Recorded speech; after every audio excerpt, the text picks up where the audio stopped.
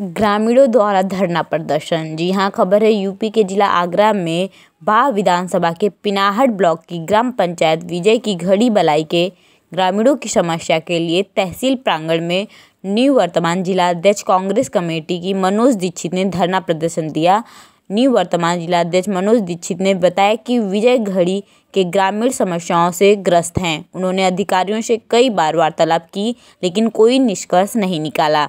दो दिन का समय दिया है। यदि दो दिन में इनकी समस्याएँ नहीं देखी गई तो ग्रामीण जिला अधिकारी महोदय के यहाँ पर भूख हड़ताल पर बैठेंगे।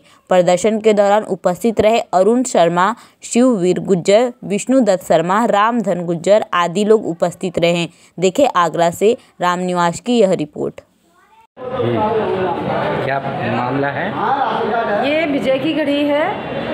बाहा में बाहा ब्लॉक की गाँव की घटना है जी। इसमें ये बेचारे जो लोग आए हैं, तीस, पैंतीस लोग जो, इनकी समस्या है कि पाँच साल पूरे हो गए।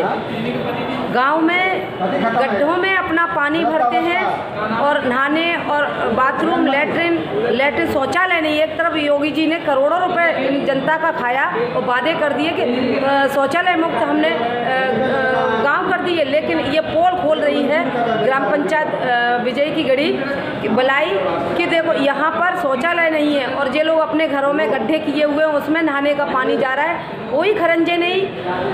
हर स्तर पे धांधली पड़ी हुई है और रिश्वतखोरी चल रही है। इन जब लोगों की पीड़ा तब हमारे सामने आई, जब कच्चे मकान में रहने वाली महिला का मकान गिरा और उसका बच्चा बच्चा गिर पड़ा, दब गया उसके कच्चे मकान के नीचे। अधिकारियों के पास आए, कोई सुनने को तैयार नहीं।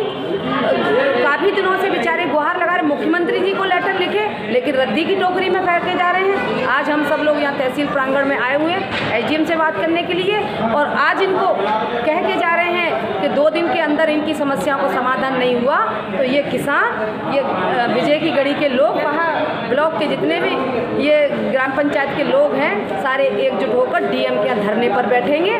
और योगी जी की ये सारी पोल खोल जिन्होंने झूठे वादे करके जनता के पैसे खाए हैं कि शौचालय हमने गाँव में दिए हैं, खरंजे नाली बनवाए हैं, लेकिन आज उनकी ये पोल खुली है तो उसका जवाब देना पड़ेगा इस सरकार